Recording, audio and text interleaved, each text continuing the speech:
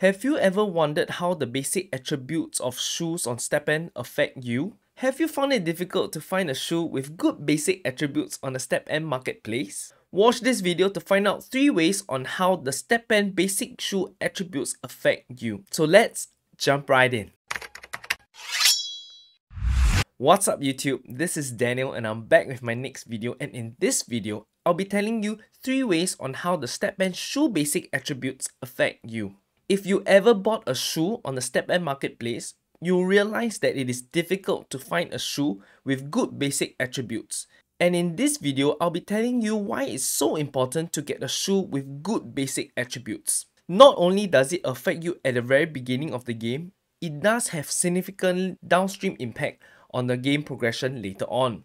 And so if you refer to the StepN white paper, it will tell you that there are 5 sneaker qualities and when each sneaker is minted, the value of each attributes will be chosen at random within the minimum and maximum values according to the sneaker quality. As such, even the sneakers of the same quality may have vastly different attribute distribution. And so if you look at the table below, you'll see that for the common quality sneakers, the minimum attribute is 1 and the maximum attribute is 10. So for example, if you buy a common sneaker with an efficiency value of 1 versus someone else who bought another sneaker that has an efficiency value of 10, his sneaker with the efficiency value of 10 will be earning more GST than you. This is similar for all the other attributes as well. As you go down the table, you'll see that as the shoe becomes rarer, the minimum attributes increases and the maximum attribute also increases. For the model today, I've actually taken a common sneaker for the example. It is actually a common jogger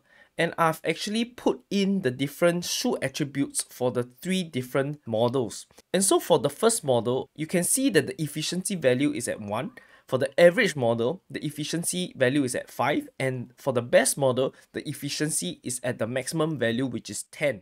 I've actually gone into step stepn.guide to pull out all these values and if you haven't checked that out, please go and do it because it will be very helpful for your planning on how much GST you'll earn each day. And with that, you can actually refer to the table down below and it will tell you the different amounts of GST you'll be earning at each individual level. And if I just may refer you to the left of that table, at level 0 and at level 1, you'll see that there is actually a larger difference between the earning rates between the worst, average and best shoe. So for example at level 1, the worst shoe will earn actually 166 GST and the average will earn almost two times of that which is about 3.07 and the best shoe will actually earn 50% more of that which is 1.5 GST more at 4.5 GST. However, this difference actually slowly narrows as you go up the levels and if you refer all the way to the right at level 29, you'll see that actually all the three shoes earn roughly about 16 GST and the difference between the worst and the best shoe is actually only 0.7 GST. And so the first point that you need to know about basic attributes is that the basic attributes affect the amount of GST you'll be able to earn, especially more at the beginning levels. And you'll be able to see this in this graph here. On this chart, you actually see the chart for the GST versus the sneaker level. And on the y-axis is the GST and the x-axis is the level. And for the blue curve, it is the worst performing shoe and the orange curve shows the average shoe and the grey curve shows the best shoe. And if you observe the left side of the chart, you'll see that the curves are quite separated at the very beginning. And this distance in between the curve slowly decreases all the way to the right as the levels increases. From this, you can see that the basic attributes has a larger impact on the earnings of the shoe at lower levels, and the impact actually decreases at higher levels. So for all of you out there who have just gotten your first earning shoe, and that shoe that you're using to earn GST is less than level 9, you'll see that getting a shoe with good basic attributes is really very important. Next, the second tip is about the resilience attribute and how it actually functions. It actually functions differently from how the efficiency functions and it's more stepwise for resilience. And you'll see that there is actually a chart released by StepN Europe even though this is an unofficial chart, I do think that it's still quite accurate because they have actually done up this chart through collecting all the community data. And so you'll see at resilience level 1, the durability loss is 10.5 per energy. And by going up one level to level 2, actually the durability loss goes down to 7. And this decreases very quickly with increasing level of resilience. You'll see that from level 1 to level 4, the durability loss decreases with every level, but up to level 5 to level 7, actually it takes you 2 to 3 levels before it drops to the next durability loss level. And that is the same for level 8 to 9. And from 10 to 13, it actually takes you 4 levels before the next durability loss drops down to 2.5. And it takes you 7 levels from 14 to 21 resilience to get your durability loss all the way to 2. And as such, you'll see that there is a diminishing marginal returns of increasing your resilience. And so you should only level up your resilience to a certain point. Many people do suggest that level 14 for resilience is a good level to be at because at the next step you'll be at level 22 and the amount of attributes that you need to put into resilience could be put into efficiency to increase your GST earning rate. And so if you look at the chart, because the early levels of resilience is so important in reducing your durability loss, the basic attributes of the shoe actually contributes greatly to the reduction in the durability loss. It will also reduce the number of attribute points that you need to put into resilience later on.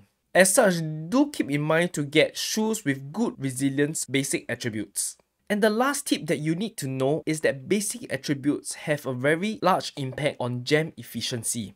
So if you look at the table here, in the first row, you'll see that it is a shoe with base stat of 1, and the second row shows a shoe with base stat of 5, and the last row shows the shoe with base stat of 10. And so you see that for a gem at level 1, it will add 2 to its basic attributes and there will be a multiplier effect or called the awakening effect. And the awakening effect of a level 1 gem is actually 5% of its base stat. And so I've actually done a quick multiplication and so 5% of 1 is actually 0.05 and 5% of 10 is actually 0.5 and you'll see that the total stat that is provided by the level 1 gem is as such. If you have a low base stat of 1, the additional attribute that you get from that level 1 gem is actually 2.05. But if it's at 5, you get 2.25 and if it's at 10, you get 2.5. And you can see that actually for level 1 gem, the difference is not very much. The difference between a base stat of 1 versus a base stat of 10 for that gem is actually almost 0.5.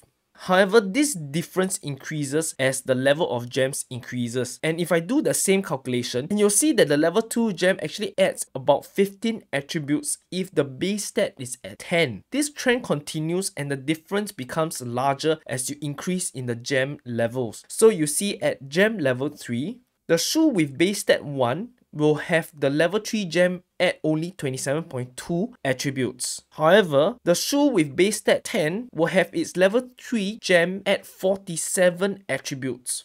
And so the efficiency of that gem really depends highly on the base stat of that shoe. If any of you are thinking to use that shoe for the long term or to use the gems to scale your GST earnings, do remember to get a shoe with a good base stat. And in this case, you need a shoe with good base efficiency and resilience to maximize your GST earnings. That's all for this video. If you found this video helpful, do like and subscribe and share this with your friend. Now that you've found out how important basic attributes are, do watch this other video to help you choose the best basic sneaker for a beginner.